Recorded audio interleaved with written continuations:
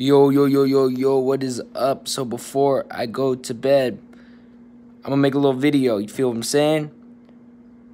And I'm gonna make this a quick video. I'm gonna do a little tag, okay? The tag's called the mixed race tag because I am mixed race. Um, and so here we go. Question number one What are you mixed with? Uh, my mom is Palestinian, Jordanian, and Egyptian on her mom's side, and Norwegian and English on her dad's side. My dad is English, Scottish, German, and Irish. So that's so I'm Arab and British. Okay, simple enough. Okay, so that's that's what I am. All right. So what am I mistook for?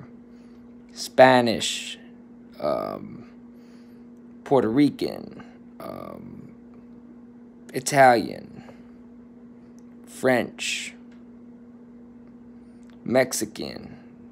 Like some people even have mistook me for Yupik, and I ain't even Yupik, you know. Um, yeah, but that's what I've been mistook for. Now, which which background do I feel closer to? Which background do I gravitate more towards? The Palestinian side. You feel what I'm saying? Because I grew up with my mom's side of the family. Um, my dad wasn't around when I was growing up, uh, largely because of his job, and then also because of his parenting skills and his relationship with his mother in law and with his wife so that's why he wasn't really around. So my mom's my mom and my mom's parents and my mom's younger brother raised me. So shout out, big shout out to my Sidi and Sitti. Um, cause they raised me. You feel me? So especially my Sitti. My Sitti, she she was she's my biggest supporter. Always has been. So you know what I'm saying? Because both of her parents were Palestinian predominantly, right?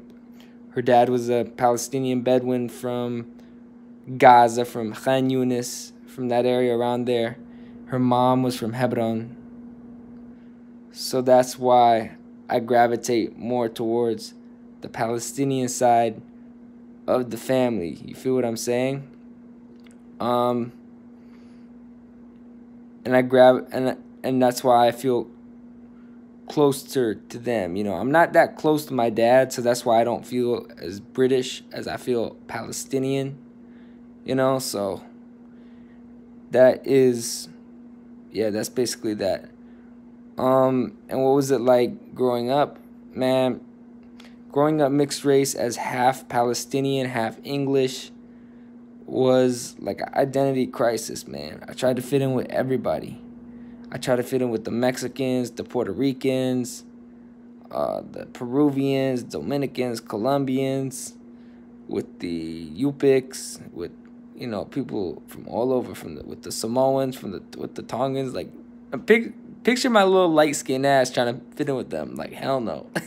no but uh, yeah, that's it was it was like an identity crisis for me, and then like after I dropped out of college, I just really embraced myself, who I was, and yeah, and yeah, growing up, I definitely got a lot of shit from people, you know, for not looking a certain way or people expected me to act a certain way.